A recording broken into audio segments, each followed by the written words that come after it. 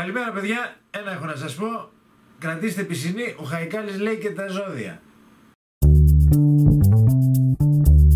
Ο Χαϊκάλης δεν έπρεπε να προσκοπήσει και τις προβλέψεις από τα ζώδια ότι θα αποπειραθούν να το δωροδοκίσουν. Δεν το έδε, φου είναι δήμον. Ο Χαϊκάλης κακώς έδινε λεφτά στον Αποστολόπουλο να παίζει στα ξένα χρηματιστήρια.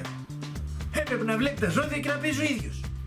Το μεταξύ όλους πάει να δωροδοκίσει ηθοποιό. Δεν είναι μακιγιάς, φώτα, κάμερες, πάμε. Το μεταξύ για να διασφαλίσει το υλικό το έδωσε στο Λαζόπουλο που στο Μόνταρα, αλλά κανονικά ίσως να έπρεπε να το δώσει και στον Παπακοσταντίνο να το φυλάει, μην αλλοιωθεί. Έχουν τρελαθεί ειδήσεις όλοι. Βγήκε το Μέγκα ερωτήματα. Ποιος έλεγε τι σε ποιον, ποιος έγραφε ποιον. Τι έγραφε ποιον, ο ένας έγραφε τον άλλον μεταξύ τους εγγραφών τους. Ποιος χρωστά σε ποιον, γιατί έγινε μοντάζ. Δεν ξέρω τελικά έχουν καταλήξει δύο άνθρωποι μέσα στους Ανέλ, από τους Ανέλ, με τους Ανέλ. Ο ένας έκανε τον άλλον.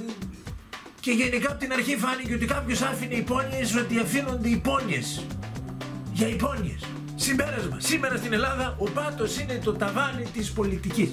Οι μόνες καταθέσεις των Ελλήνων πλέον είναι αυτές στον ανακριτή.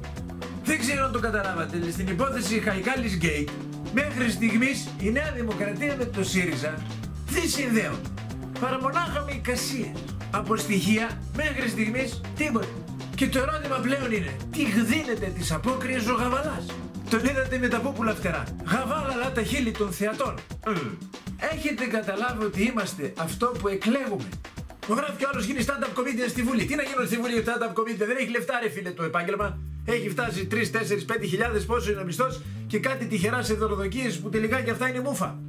Δεν βγαίνω. Λεφτά είναι αυτά.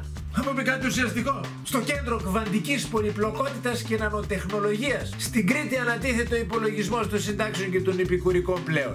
Αν συνεχιστούν έτσι οι περικοπές στις συντάξεις και τις επικουρικές, η κυβέρνηση πλέον θα έχει να βάλει χέρι μόνο στην αίθουσα σύνταξης. Τέλος, έχουν μπερδευτεί και οι δημοσιογράφοι μας βραχικύκλωσαν. Δεν ξέρω πώς έγινε ο Χατζη Νικολάου στη Ριλ, έβγαλε δώρο Γαϊτάνο. Χριστουγεννιάτικα.